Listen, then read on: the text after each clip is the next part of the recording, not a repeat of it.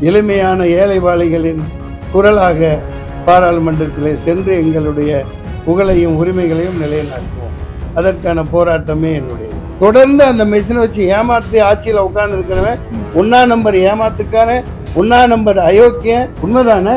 பிச்சைக்காசுன்னு சொல்லியிருக்காங்களா? தவறு. அப்படின்லாம் திரும்பப்படுத்தி பேசக்கூடாது தான் என்று சபதமேற்கிறேன் பாஜக இங்கு கால் ஒன்றை விடமாட்டேன் விடமாட்டேன் விடமாட்டேன்.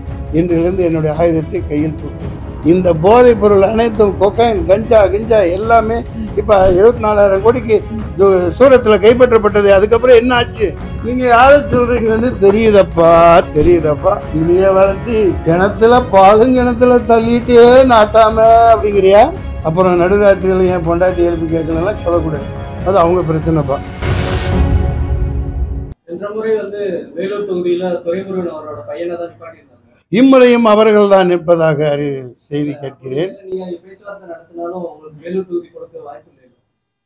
அதை பற்றி நாங்கள் கவலை இல்லை. அவர்களெல்லாம் ஆண்ட பெரும் மக்கள் ஆண்டு கொண்டிருப்பவர்கள் மிகப்பெரிய மகா அஜானுபாகுவானவர்கள் நாங்கள் எளிமையானவர்கள்.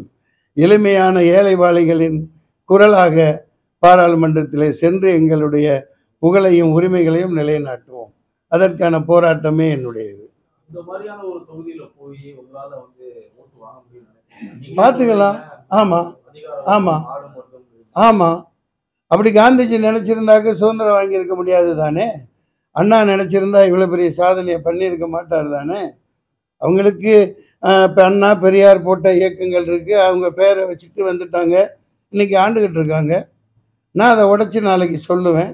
மக்கள்கிட்ட எடுத்து இயம்புவேன் இல்லையா? மிகப்பெரிய ஆபத்தான ஒரு இதில் இருக்குது நீங்கள் இவ்வளோ விவரமாக என்ன கேள்வி கேட்குறவங்க இந்த ஓட்டு மிஷினை வந்து ஒளி இதை கொண்டு வராதுன்னு ஏன் யாருமே சொல்ல மாட்டேங்கிறீங்க? யாருமே ஏன் வாய் திறக்க மாட்டேங்கிறீங்க?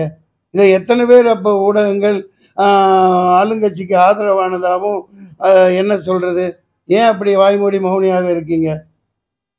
ஐயா ஒரு இது வந்தால் தானாக முன் வந்து கோ- சோமோட்டோ வழக்கு போடுறாங்க அமைச்சர் மேலே. மக்கள் போராடுறாங்க. தொடர்ந்து அந்த மிஷினை வச்சு ஏமாத்தி ஆட்சியில் உட்கார்ந்து ஒன்னா நம்பர் ஏமாத்துக்காரன் ஒன்னா நம்பர் அயோக்கியன். உண்மைதானே? நீங்க மக்கள் ஒன்றும் இல்லவா பேப்பர்ல நடத்து நாளைக்கே நடத்து நடத்தி பாரு. அப்ப இவ்வளவு அடக்குமுறைகள் இருக்குமா? ஒருத்தன் காலில் விழுந்து கெஞ்சி கும்பிட்டு ஓட்டு கேட்பீங்கல்ல ஒரு காலில் விழுவீங்கல்ல? இல்ல அப்ப ஏன் எல்லாம் வாய் முடிக்கிறீங்க நீங்க? இன்றும் நான் கேட்கிறேன் இன்னைக்கு வரைக்கும் போராடிட்டு தான் இருக்கேன். ஓட்டு மெஷின் ஒரு டுபாக்கூர் ஏமாற்று வேலை ஃபோர் டுவெண்ட்டி அதை எடுத்துட்டு வாக்குச்சீட்டில் தேர்தல் நடத்துன்னு போராடுறோம். எந்த நீதிபதி காதிலும் விழமாட்டேங்கிறது. இவர் சொன்னார் என்னோட சாதனை என்னன்னு. நாலு வருஷம் முன்னாடி அஞ்சு லட்ச ரூபா செலவழித்து பல தடவை ஃப்ளைட்டுக்கு போயிட்டு போயிட்டு வந்து டெல்லியில் நான் ஃபார்ட்டீன் பர்சன்ட் அப்பியர் ஆகி ஆஜரானேன். இந்த ஓட்டு மெஷினை ஒழுங்கேன்ட்டு. இங்கே போகிறான்னு அங்கே போனாங்க அங்கே போனேன். தொடர்ந்து போனேன். ரெண்டு நிமிஷம் எழுதி வச்சுருந்தேன். நான் அப்பியர் ஆனேன். சீஃப் ஜஸ்டிஸ் இருந்தார். பேர் மறந்துட்டேன். ரெண்டு நிமிஷம் கேட்டார். டிஸ்மிஸ் டிஸ்மிஸ் அப்படின்ட்டார். ரெண்டு பக்கம் பேசிக்கிட்டே இருந்து ரெண்டு பக்கம் தூக்கிட்டு போக ஆள் வந்துட்டாங்க. வெளியில் வந்து என்னங்க இதுன்னா சார் நீங்கள் தான் இந்த கோர்ட்டில் அதிக நேரம் பேசியிருக்கீங்க. இந்த மாதிரி ஆயிரக்கணக்கான கேஸ் இருக்குது அவங்க ஏன் கண்டுக்கவே மாட்டேங்கிறாங்க சார்? அப்புறம் என்ன? நீதிமன்றம் தானே இறுதி.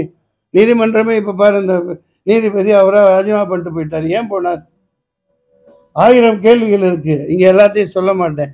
நான் அங்கே மைக்கை பிடிச்சி என்னோட வாழை சொல்லட்டுவேன் வந்துருங்க. வேறு ஏதாவது? காரணம் என்ன? இப்பத்தானே சொன்னேன். யார் அது? யார் அந்த இரும்பு பெண்மணியை தீர்த்து கட்டினது? அது பச்சை படுகொலை தானே? யதார்த்தமான மரணமா? யதார்த்தமான மரணமா கேட்குறேன் இன்னைக்கு இவ்வளவு ஜிஎஸ்டி இவ்வளவு கொடுமை இவ்வளவு எல்லாத்தையும் போட்டு வாட்டி வதக்கி மக்களை ஏழையா நாசம் பண்ணிட்டாலும் இவங்க எல்லாருக்குமே தெரியும். ஒரே ஒரு ஆறுதலா என்ன இருக்கு? அம்மா உணவகங்கள். அந்த மகாராணி போட்டு போனது. இன்னைக்கு மக்களுக்கு அதுதான் ஆறுதலா இருக்கு. அந்த இரும்பு பெண்மணியின் ஆட்சியை நான் இந்தியா முழுக்க கொண்டு வருவேன். இதை ஒரு சவாலாக நான் சொல்கிறேன். சமத்துவம் மிக்க ஒரு ஆட்சியாக அமைய நான் பாடுபடுவேன். எவனா இருந்தாலும் சரி பார்த்துக்கலாம். மேரா பாரத் மேரா பரிவார் நை ஹமாரா பாரத் ஹமாரா பரிவார். நாற்பது வருஷமா அரசியல் இருக்கேன்னு சொல்றீங்க. ஆ, இன்னமும் ஒரு தலைவரா வந்து மன்சூர் அலிகான் வந்து ம், மத்தியில போய் சேர்ந்திருக்காரா ம். தேவையில்லை நான் தலைவன்னு நான் என்னைக்கு சொல்லிக்கிட்டதே இல்லை. நான் எளிமையானவனை வாழத்தான் விரும்புகிறேன் சாதாரணமாக கடலை வாங்கி தின்னுக்கிட்டு ரோட்டோரம் நடந்து போவேன். எனக்கு எந்த விதம் பாதுகாப்போ இதுவோ எனக்கு தேவையில்லை. நீங்கள் அதை விளம்பரங்கள்னு சொன்னால் விளம்பரங்கள் இன்னைக்கு ஒரு பிரதமராக இருக்கிறவர் எத்தனை லட்சம் கோடிக்கு பத்திரிகைகளுக்கு கைவிட்டு தான் அது. எந்த டிவியை திறந்தாலும் விளம்பரம். நீ ஒழுங்கு வெங்காயமா நாட்டு ஆண்டினா உனக்கு எதுக்குடா விளம்பரம்? எதுக்கு விளம்பரம்? பாரத பிரதமரை கேட்கிறேன் அந்த ஆளுங்கட்சின்னு கேட்கிறேன். பூஜா தூக்குறதுக்கு பல்லாயிரக்கணக்கான டிவி வச்சிருக்கீங்க. எவன் அப்ப முட்டு காசு? எவங்க அப்ப முட்டு காசு? எதுக்கு இந்த விளம்பரம் பண்றீங்க? நீ ஒழுங்கு வெங்காயமா ஆட்சி ஆண்டாக்க அங்க இருந்து ஓட்டு போடுங்கன்னா போட போறாங்க காகிதம் இல்லை படுத்துக்கிட்டு கேரளாவில் எம்பியா ஜெயிக்கலையா? ஜெயிக்கலையா? பசுமன் முத்துராமலிங்க ஜெயிக்கலையா? எம்ஜிஆர் எம்ஜிஆர் ஜெயிக்கலையா? வாருங்கள் ஐயா இங்கே உட்காருங்க. செல்லப்பாண்டியன் அவர்களே செல்லப்பாண்டியன் எனது ஆ, கொள்கை பரப்பின் மாவீரர். ஆமாம். சார் வெக்கமான சூடு சொரணை இருந்தால் சோத்தைத்தான் திங்கிறீன்னா நீ இவிஎம் மிஷினை தூக்கி போட்டு சாதாரண எளிமையான வாக்குச்சீட்டுல நடத்து. எதுக்கு மெஷினு யாருக்கு வேணும் மெஷினு ஆறரை லட்சம். ஆறரை லட்சம். ஒன்று ரெண்டு இல்லை. இங்கே பார். ஆறரை லட்சம் மெஷினு ரிப்பேராக போச்சான் ஏண்டா அங்கே ஒப்பம் தன்னானே? அடே ஆறரை லட்சம் மெஷின் ரிப்பேராக போகுதுன்னா நீ என்னடா அவுத்துக்கிட்டு என்ன மயிருக்கடா அந்த மெஷினை வாங்குற? ஏன்னா அத்தனை பிரித்து செட் பண்ணி குத்துறத குத்தி கேட்குறத கேட்குற மாதிரி பண்ணிட்டு பண்ணுறதுக்கு தான். எங்கேருந்து வருதுன்னு தெரியுதா? எல்லாம் பேசாதீங்க பேசாதீங்க நாங்கள் அந்த மிஷினை எங்கே பதுக்கி வச்சுருக்காங்கன்னு தெரியுதா? எங்கே எடுத்துகிட்டு போகிறாங்கன்னு தெரியுதா? இருபது லட்சம் மிஷின் அச்சடிச்சு வச்சுருக்கான் வெளியில் இருக்குங்கிறான். இந்த ஊடகங்கள் என்ன கேள்வி கேட்குறவங்க மாதிரி நிற்க வச்சு நாளைக்கு வராரு கேளுங்களேன். கையை ஆட்டிக்கிட்டு வராருல்ல சொல்லுங்க. ஐயா உங்களுக்கு பதில் கிடைத்து விட்டதா? இல்லை. நாற்பது வருஷமாக இருக்கீங்களே? உன்னை வந்து தலைவனா யாரும் நினைக்கலையே? அதானே கேட்குறீங்க நான் பெரியார் அல்ல அண்ணா அல்ல. அவங்க அன்னைக்கு அவ்வளோ உழைச்சி களைச்சி என்னோட உழைப்புலாம் ஒன்றும் இல்லை. அறிஞர் அண்ணா அவ்வளோ எளிமையாக வாழ்ந்தார். பெரியார் அவ்வளோ எளிமையாக வாழ்ந்தார். தேர்தல் வேணாம் அப்படின்னார். ஆனால் அவர் பேரை சொல்லிக்கிட்டு இன்றைக்கி ஆட்சி ஆள்றவங்க அவர் வழியில் எளிமையாக இருக்கிறார்களா? எல்லோருக்கும் பதவிகளையும் பொறுப்புகளையும் உரிமைகளையும் பிரித்து கொடுத்துருக்காங்களா? அப்படிங்கிறத நான் பிரித்து பிரித்து பேசுவேன் இல்லை வெற்றி பெற முடியாத பட்சத்தில் இந்த பேச்சுக்கெல்லாம் இடமில்லை இது வெற்றி வரும் போகும் என்னோட உரிமை நான் பல தேர்தலில் போட்டி போட்டிருக்கேன் ஐயா கூட ஒரு தேர்தலில் போட்டி போட்டிருக்காங்க அதனால ஒரு எப்போவுமே இப்படி இருந்துருமா என்ன நான் அநேகமாக நம்புவேன் எனக்கு அதான் அந்த உறுப்பினருக்கு போட்டியிடுறதுக்கு ஒரு ஒன்றோ ரெண்டோ கொடுக்கும் பட்சத்தில் நாங்கள் போட்டியிடுவோம். கண்டிப்பாக கொடுப்பாங்கன்னு நம்புகிறேன் அது வரைக்கும் சும்மா இருக்க முடியாது. அதனால எங்கள் பிரச்சாரங்களில் ரெண்டு மூன்று தொகுதிகளில் ஆரம்பித்து ஒரு வாரமாக போய்கிட்டு இருக்கு. குடும்ப தலைவிகளுக்கான ஆயிரம் ரூபாய் வந்துட்டு பிச்சை போடுறதா? கற்கை நன்று கற்கை நன்று பிச்சை புகினும் கற்கை நன்று. இல்லையா? அவங்க பிச்சை காசுன்னு சொல்லியிருக்காங்களா? தவறு. அப்படிலாம் சிரமப்படுத்தி பேசக்கூடாது தான் ஆனால் ஆயிரம் ரூபாய் ஆறாயிரம் ரூபாய் ஐநூறு ரூபாய் இது கொடுக்குறாங்க. அதை பாராட்டலான்னு ஒரு பக்கம் இருந்தாலும் நாற்பத்தஞ்சாயிரம் கோடியா? நாற்பத்தஞ்சாயிரமா மாதம் மாதம் வட்டி கட்டுறாங்க. அதுதான் ரொம்பவும் ஜீரணிக்க முடியாததாக இருக்குது என்னை பொறுத்த வரைக்கும் எங்கள் இந்திய ஜனநாயக புலிகளின் கொள்கை வந்து இந்த அயல் நாட்டு அந்நிய முதலீடு எல்லாத்தையும் தூக்கிடணும். இரும்பு கொட்டை மாதிரி ரிஷப் மாதிரி எல்லாத்தையும் மூடிட்டு இங்கே உற்பத்தியை பெருக்கணும் இங்கே உள்ளவர்களுக்கு வேலை வாய்ப்பு கொடுக்கணும். இவங்க சம்பாரித்து வச்சுக்கிட்டு எல்லாம் பண்ணுறாங்க அது உங்களுக்கு எல்லாம் தெரியாதது அல்ல. அவங்களுக்கு பிச்சை சொன்னது குஷ்ப பிராட்டியார் செய்தது தவறு. அப்படிலாம் சொல்லக்கூடாது. ஏதோ ஒரு கொடுக்குறவன் கொடுக்குறான். வாங்குறவன் வாங்குறாங்க. இந்தா நீ கொடு. பத்தாயிரம் கொடு. பாஞ்சு லட்சம் கொடுக்க சொன்ன மாதிரி கொடுங்க. ஐயா தொண்ணூத்தஞ்சு பர்சன்ட் பேர் தொண்ணூத்தஞ்சு பெர்சன்ட் பேர் குஜராத்திகள் தான் கடன் வாங்கிட்டு காணாம போயிடுறாங்க ஓடி போயிடுறாங்க. பல லட்சம் கோடி பல ஆயிரம் கோடி கடனை திருப்பி கொடுக்க மாட்டேங்கிறாங்கன்னு ஒரு ஸ்டேட் பேங்க் வங்கி தலைவர் சொல்கிறார் ரகுராம் ராஜன் ச சரித்திரம் விடுறார். மோடி அவர்களே நீங்கள் ஆர்எஸ்எஸ் அலுவலகத்தில் கூட்டி பெருக்கிட்டு இருக்கீங்கள அப்போவே இந்தியா பாகிஸ்தானை பிறக்கிறதுக்கு முன்னாடியே இந்தியா பாகிஸ்தான் போர் நடந்து அதில் இந்தியா ஜெயிச்சிருக்கு நீங்கள் இப்போ பிறக்கவே இல்லை. இது போன்று அடுக்கிக்கிட்டே வர்ற ரகுராம் ராஜன். சாதாரண ஆள் இல்லை. நீங்கள் தான் ஒம்பது வருஷத்தில் ஏதோ சாதனை பண்ணுற மாதிரி பீத்திக்கிறீங்களே. ஆதலினால் நான் என்று சபதமேற்கிறேன் பாஜக இங்கு கால் ஒன்றை விடமாட்டேன் விடமாட்டேன் விடமாட்டேன் இன்றிலிருந்து என்னுடைய ஆயுதத்தை கையில் தூக்குவேன்.